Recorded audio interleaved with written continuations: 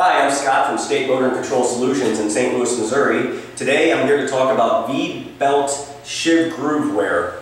Uh, most people don't know, but when a V-belt sheave is worn out, it will decrease your belt drive efficiency up to 8%. And most uh, importantly probably is it is the leading cause of rapid belt wear and belt damage.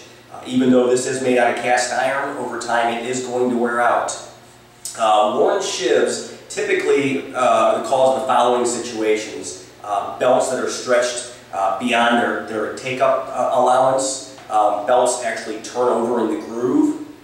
Replacement belts, when you put new belts on, they seem like they're mismatched, and that's because of the different depth of groove wear, and uh, most importantly, short belt life.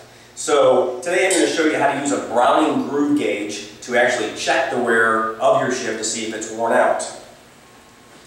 This groove checker has multiple tabs on it depending on the sheave and belt size. In this case we've got an 8V sheave and if you uh, look at there's three tabs here depending on the actual diameter of the sheave will determine which tab you're going to use. In this case we're over 22 inches so we're going to use the 42 degree tab.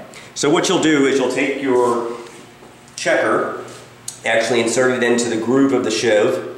If you put a flashlight behind it and you see light, uh, typically, a good gauge is 1 32nd of an inch. If you see more than 1 32nd of an inch gap, you know it's time to replace the sheave. To minimize sheave groove wear, there's several things you can do. Number one, make sure your belts are properly tensioned. Number two, regularly check the wear on your sheaves. Um, number three, make sure you keep sheaves clean. Uh, this was out of a, a quarry. It had a lot of dirt and debris in there, and that will cause excessive wear. Um, make sure that you maintain proper sheave alignment too. If your sheaves are out of alignment, it's going to cause excessive wear. And uh, never use a belt dressing on, on your belts. Um, replacement of worn sheaves. Uh, they'll pay for themselves quickly. Number one, through efficiency. Number two, through um, not having to replace belts so, so often. To have longer belt life. And most importantly, less downtime and maintenance in, in changing out the belts.